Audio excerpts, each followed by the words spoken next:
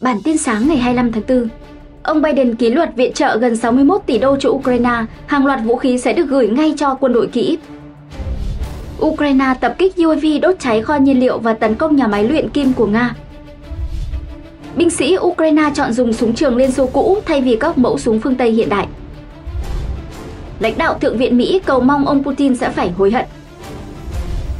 Liên Hiệp Quốc kêu gọi điều tra ngôi mộ tập thể kinh hoàng tại hai bệnh viện ở Gaza. Nhóm hacker quốc tế tấn công mạng Trung Quốc đăng hình ảnh vạch trần vụ lục tứ Tây Tạng khiến 20 sinh viên bị tra tấn đến chết. Nguyễn Tươi xin kính chào quý vị. Kính chúc quý vị có một ngày mới bình an và tốt lành. Sau đây kính mời quý vị cùng theo dõi bản tin sáng ngày 25 tháng 4 của DKN.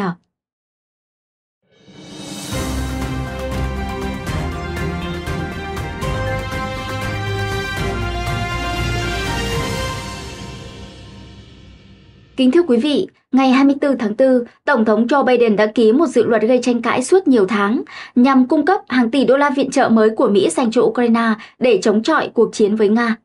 Ông Biden nói sau khi ký thông qua dự luật viện trợ ngoại quốc, gói ngân sách này mang lại sự hỗ trợ quan trọng cho các đối tác của Mỹ để họ có thể tự bảo vệ khỏi các mối đe dọa đối với chủ quyền. Dự luật này bao gồm 61 tỷ đô viện trợ cho Ukraine và 26 tỷ đô cho Israel, cũng như 1 tỷ đô hỗ trợ nhân đạo cho Gaza và 8 tỷ đô để chống lại sức mạnh quân sự của Trung Quốc. Tác động của luật này là ngay lập tức. Ông Biden cho biết ông đã phê duyệt khoản cung cấp vũ khí trị giá 1 tỷ đô ban đầu cho Ukraine và việc vận chuyển số vũ khí này sẽ bắt đầu trong vòng vài giờ. Gói viện trợ ban đầu bao gồm các phương tiện, đạn phòng không Stinger, đạn bổ sung cho hệ thống pháo phản lực cơ động cao, đạn pháo 155 ly, đạn chống tăng Tau và Javelin cùng với các vũ khí khác có thể được đưa vào sử dụng ngay trên chiến trường. Ông Biden cho biết việc thông qua luật sẽ gửi một thông điệp trực tiếp tới Tổng thống Nga Vladimir Putin. Ông ấy lại thất bại. Người Mỹ sát cánh cùng bạn bè của chúng tôi, chúng tôi không cúi đầu trước bất kỳ ai, không ai, chắc chắn không phải Vladimir Putin. Ông Biden phát biểu. Ông Biden cũng đã ký một dự luật riêng gắn liền với luật viện trợ cấm TikTok ở Hoa Kỳ nếu chủ sở hữu của ứng dụng, công ty công nghệ Trung Quốc ByteDance, không thoái vốn trong vòng 9 tháng đến một năm tới.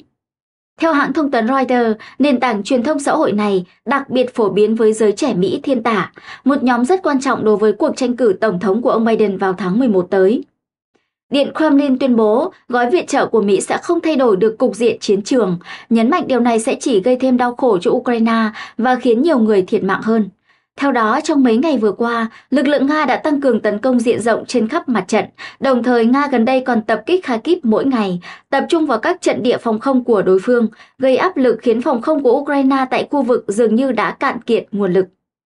Thủ tướng Đức Olaf Scholz vào ngày hôm qua cũng cho biết châu Âu phải tiếp tục tăng cường viện trợ cho Ukraine, ngay cả sau khi gói viện trợ lớn của Mỹ được phê duyệt. Tuy nhiên, ông Scholz cũng nhấn mạnh Đức kiên quyết từ chối gửi hỏa tiễn hành trình tầm xa Taurus cho Ukraine. Liên quan đến tình hình chiến sự, Thống đốc vùng Smolensk thuộc vùng lãnh thổ phía tây nước Nga vào ngày hôm qua đã cho biết một cuộc tấn công bằng máy bay không người lái của Ukraine đã đốt cháy các cơ sở lưu trữ nhiên liệu tại khu vực này. Ông Vasily Anokhin, thống đốc địa phương đã viết trên mạng Telegram. Một lần nữa, khu vực của chúng tôi lại bị máy bay không người lái Ukraine tấn công. Cuộc tấn công của họ ở các quận Smolensky và Yatsevsky đã đốt cháy các cơ sở năng lượng và nhiên liệu dân sự. Thống đốc Anokhin cho biết thêm, hiện tại Bộ Tình trạng khẩn cấp đang xử lý các thiệt hại, đồng thời yêu cầu người dân giữ bình tĩnh. Nguồn tin từ quan chức địa phương này cho biết cuộc không kích của Ukraine không gây ra bất kỳ thương vong nào. Được biết có khoảng 26.000 mét khối nhiên liệu đang được lưu trữ tại các cơ sở bị tấn công. Các cơ quan chuyên môn đang tiến hành hoạt động kiểm tra mức độ thiệt hại. Trong khi đó, các cơ quan truyền thông của Ukraine trích dẫn nguồn tin từ cơ quan an ninh nước này cho biết vụ tấn công là một hoạt động của tình báo Ukraine. Các nguồn tin cho biết SBU tiếp tục phá hủy một cách hiệu quả cơ sở hạ tầng quân sự và hậu cần cung cấp nhiên liệu cho quân đội Nga ở Ukraine. Những mục tiêu này đang và sẽ vẫn là mục tiêu hoàn toàn chính đáng của Ukraine. Ở một diễn biến khác, Thống đốc tỉnh Voronezh Alexander Gusev thông báo các hệ thống phòng không trên tỉnh Voronezh của Nga đã phải hoạt động suốt đêm vì một cuộc tấn công bằng máy bay không người lái của Ukraine. Có 4 máy bay không người lái đã bị bắn hại trên vùng đất này, tuy nhiên vụ tấn công đã gây ra một vụ hỏa hoạn tại một nhà kho chứa dầu. Cũng trong đêm, các máy bay không người lái của Ukraine được cho là nhắm mục tiêu vào nhà máy luyện kim Novolipetsk ở Lipetsk. Binh sĩ Ukraine trên chiến trường hiện đang lựa chọn súng trường tấn công thời Liên Xô thay cho các mẫu súng hiện đại phương Tây vì tình trạng thiếu đạn dược ngày càng trầm trọng. Một binh sĩ từng là lính bắn tỉa Ukraine thuộc lữ đoàn cơ giới số 59 cho hay, đơn vị của anh thích súng trường AK-74 vì sẽ dễ tìm thấy loại đạn phù hợp trên chiến trường hơn. Binh sĩ này cho biết, người Nga thường sử dụng súng có cỡ đạn 5,45 x 39 mm và chúng tương thích với nhiều loại vũ khí thời Liên Xô trong kho quân sự Ukraine. Trong khi đó, súng trường phương Tây sử dụng loại đạn 5,56 x 45 ly theo tiêu chuẩn NATO, hiện rất khó để tìm thấy các loại đạn này. Trường hợp binh sĩ Ukraine sử dụng súng trường do phương Tây sản xuất, họ sẽ phải phụ thuộc rất nhiều vào nguồn cung cấp từ các đối tác nước ngoài, mà vốn dĩ đang thiếu hụt trầm trọng. Người đứng đầu Bộ Tư lệnh châu Âu của Hoa Kỳ, tướng Christopher Cavalry, gần đây đã cho biết quân Ukraine thiếu đạn đến mức nếu Nga bắn đi 5 quả đạn pháo thì họ mới bắn lại được một quả. Tỷ lệ này có thể tăng lên, Nga bắn 10 quả, Ukraine chỉ bắn một quả, nếu tình trạng thiếu đạn vẫn tiếp diễn. Trong khi đó, hai quan chức Mỹ nói với hãng thông tấn Reuters rằng chính quyền của ông Biden đang chuẩn bị gói viện trợ quân sự trị giá 1 tỷ đô la cho Ukraine. Nó bao gồm các phương tiện, đạn phòng không Stinger, đạn bổ sung cho hệ thống hỏa tiễn pháo binh cơ động cao, đạn pháo 155 ly, đạn chống tăng Thau và Javelin và các vũ khí khác có thể được đưa vào sử dụng ngay trên chiến trường. Các nhà lãnh đạo Đảng Dân Chủ và Cộng hòa tại Thượng viện dự đoán rằng Quốc hội đã xoay chuyển tình thế khi thông báo cho Tổng thống Nga Vladimir Putin và các đối thủ nước ngoài khác rằng Washington sẽ tiếp tục hỗ trợ Ukraine và các đối tác nước ngoài khác. Dự luật an ninh quốc gia này là một trong những biện pháp quan trọng nhất mà Quốc hội Mỹ đã thông qua trong một thời gian rất dài nhằm bảo vệ an ninh Mỹ và an ninh của nền dân chủ phương Tây. Lãnh đạo phe đa số Đảng Dân Chủ Chuck Schumer đã phát biểu trong cuộc họp báo sau cuộc bỏ phiếu. Trước đó ông Schumer nói, tối nay cầu mong Vladimir Putin hối hận vì ngày ông ta đặt câu hỏi về quyết tâm của Mỹ. Ông Schumer cho biết ông đã để lại tin nhắn cho Zelensky vào tối thứ ba và nói với ông ấy, được rồi, chúng ta đã hoàn thành công việc, bây giờ hãy chiến thắng trong cuộc chiến. Chuyển đến một thông tin đáng chú ý về tình hình Trung Đông. Thưa quý vị, Liên Hiệp Quốc đã kêu gọi tiến hành điều tra về những ngôi mộ tập thể được phát hiện tại hai bệnh viện lớn ở Gaza bị quân đội của Israel đột kích. Hôm 23 tháng 4, Liên Hiệp Quốc đã kêu gọi tiến hành một cuộc điều tra rõ ràng, minh bạch và đáng tin cậy về những ngôi mộ tập thể mới được phát hiện tại hai bệnh viện lớn ở Gaza. Người phát ngôn Liên Hiệp Quốc Stefan Dujarric nói với phóng viên rằng các nhà điều tra đáng tin cậy phải có quyền tiếp cận những địa điểm này, nhấn mạnh rằng cần có nhiều nhà báo hơn tới tác nghiệp an toàn ở Gaza để đưa tin về sự thật. Cũng trong ngày 23 tháng 4, người đứng đầu cao ủy nhân quyền Liên Hiệp Quốc Volker Turk đã cho biết ông kinh hoàng trước sự tàn phá của trung tâm y tế Shifa tại thành phố Gaza và bệnh viện Nasser ở thành phố Khan Yunis phía Nam cũng như báo cáo về việc phát hiện các ngôi mộ tập thể trong và xung quanh các cơ sở này sau khi quân đội Israel rời đi. Ông Tusk nói, các bệnh viện được hưởng sự bảo vệ rất đặc biệt theo luật nhân đạo quốc tế, và việc cố ý giết hại thường dân, những người bị giam giữ và những người khác không có khả năng chiến đấu là một tội ác chiến tranh. Trong hai cơ sở nói trên, chỉ riêng tại địa điểm Nasser đã chứa 283 thi thể, Người phát ngôn của Cao ủy Nhân quyền Liên Hợp Quốc Ravina Shamdasani đã nói 30 thi thể được phát hiện tại bệnh viện Al-Shifa. Bà cho biết thêm, có thể có nhiều nạn nhân hơn nữa, bất chấp tuyên bố của lực lượng phòng vệ Israel IDF rằng có 200 người Palestine đã thiệt mạng trong chiến dịch tại tổ hợp y tế Al-Shifa. Người phát ngôn Bộ Ngoại giao Mỹ Vaden Patel gọi báo cáo về các ngôi mộ tập thể là cực kỳ đáng lo ngại và cho biết chính quyền ông Biden đã đặt câu hỏi với chính phủ Netanyahu. Cơ quan phòng vệ dân sự cho biết một số thi thể là của những người thiệt mạng trong cuộc bao vây bệnh viện. Những người khác thiệt mạng khi lực lượng của Israel đột kích vào bệnh viện.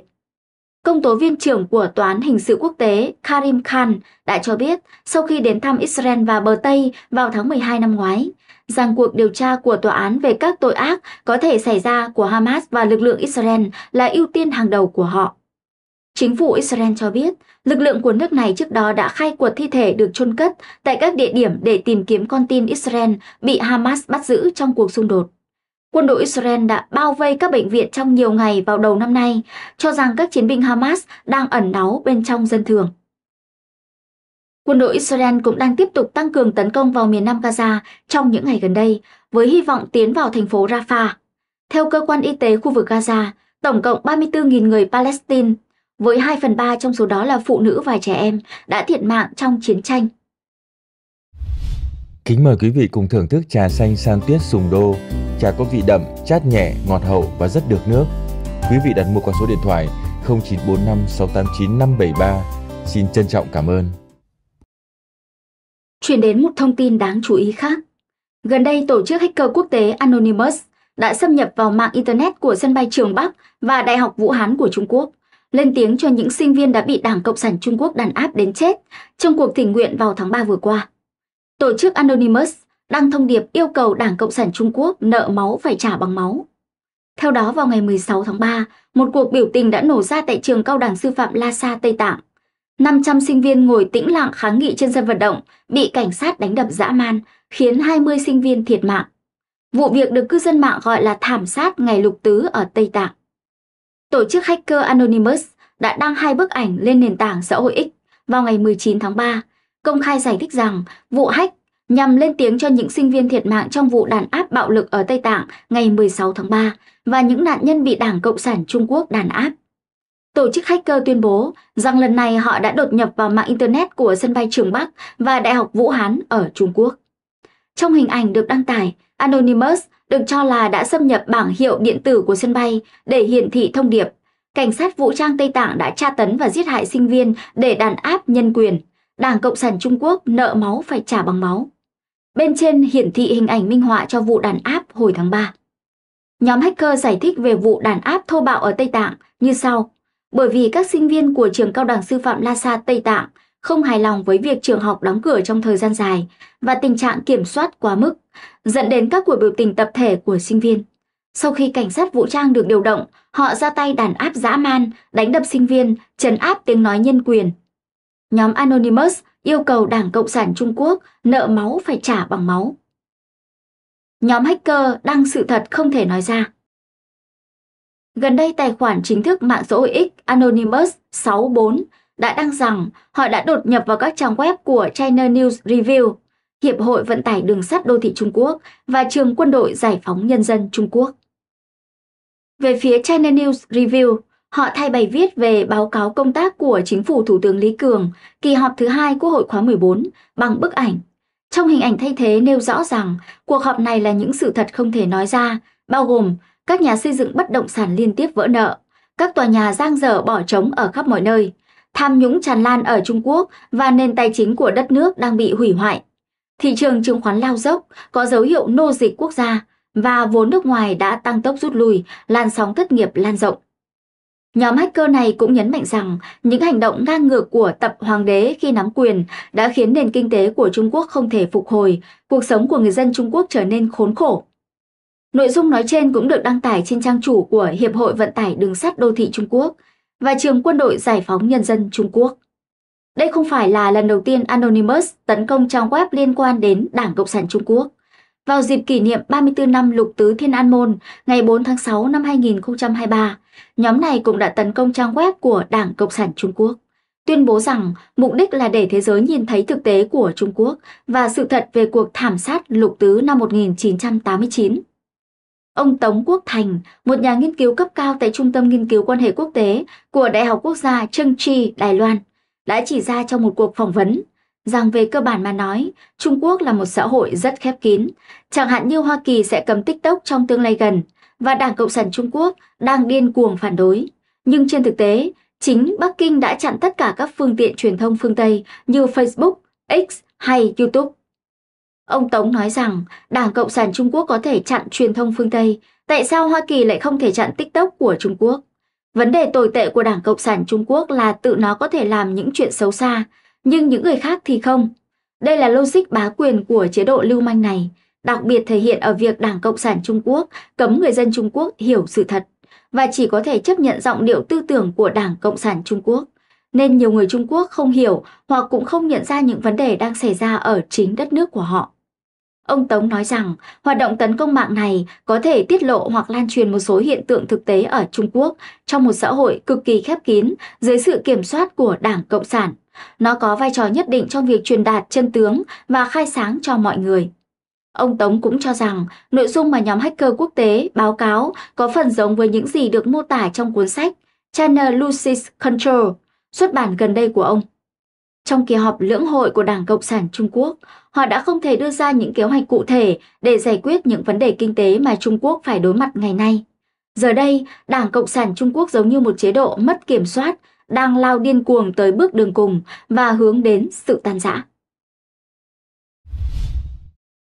Thưa quý vị, bản tin sáng của DKN xin được kết thúc tại đây. Cảm ơn quý vị đã quan tâm theo dõi. Kính chúc quý vị luôn bình an và mạnh khỏe. Xin thân ái chào tạm biệt.